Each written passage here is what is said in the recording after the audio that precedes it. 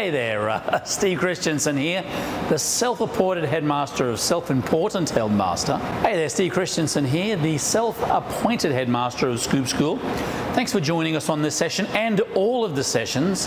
Uh, a lot of airplay. A lot of people are saying, boy, there's so much content coming out. Primarily that's because of the lady behind the camera here, Madeline and Frank, of course. Uh, so uh, thank you for engaging. Thank you for subscribing if you haven't done already do yourself a flavor. Just uh, click on the subscribe button and uh, you'll get uh, just a little bit of ice cream news every day. We don't try to make them too long and drawn out. Um, I would like to think it's just five to seven minutes of goodness. We do want to thank our episode sponsor for this episode, which is Meadowvale, based out of Chicago, mix company. They make soft serve, gelato mix, they make custard mix, they make premium ice cream mix, some of the best chocolate mix you'll ever have. Eddie Kahina and Jason Leslie, the whole crew there, very, very helpful, great asset to your business. Meadowvale, thank you very much for your episode sponsorship. The link is down below. Give it a click, have a look at their website, tell them that the ice cream bloke sent you. Now, I love the way that conversations in the and uh, uh, comments in the videos create more video content. And we did a video session uh, on reducing waste by using a scraper to uh, scrape the, all of the remaining mix out of your bag, the bag of mix. And then someone said, well, that's great, but what about uh, reducing mix that's or ice cream that's left in the barrel after you've uh, extracted it out? How do you kind of reduce that mix or that waste? And look, I'd like to say there was an easy answer, but there's not. Um, hopefully, what's happening in your production schedule is that you're using or utilizing batch after batch after batch.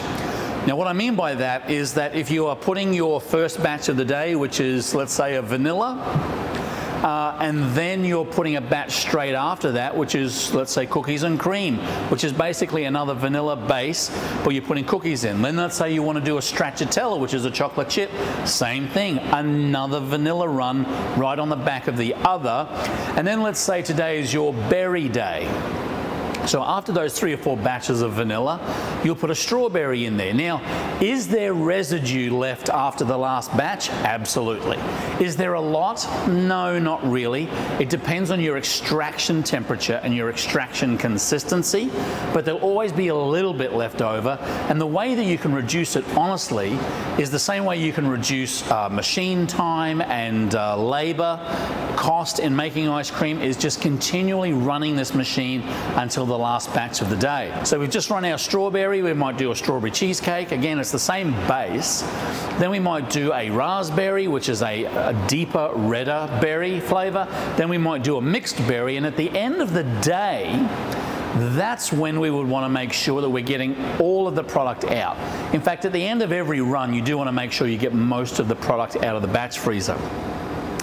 Some batch freezers, I will say by design, are a little better than others uh, so far as extracting as much of that mix out as you can. But a lot of it has to do with the temperature and the consistency that you're pulling that mix out of. And you can see I've got two batch freezers here. This is the ElectroFreeze. This is the Dasher from the ElectroFreeze. And this is the Stoelting. This is the Dasher from the Stoelting. The Dasher is a vertical batch freezer.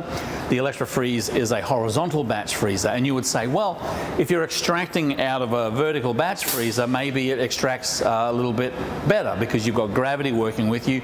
Not necessarily.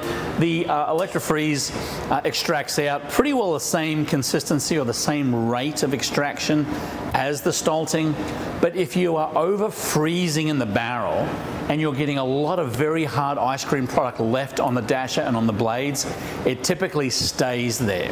Now, we talk about in Scoop School a lot the uh, spatula or doing a spatula test, which is at the end of the run, you would open up the gate here and just put a spatula under there just to check the consistency. I will tell you that I prefer to run a firmer product out, but when you run the product firmer, you do uh, run the risk of having more left in the barrel. And you'll find that if you're doing batch after batch after batch, that each batch becomes a little bit bigger because you've run vanilla first.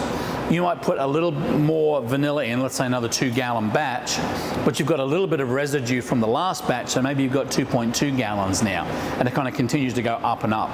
And it's just something you need to take care of in the recipe production process. But just kind of rounding up on this, the way you can get the most out of your batch freezer and really reduce waste is doing batch after batch after batch.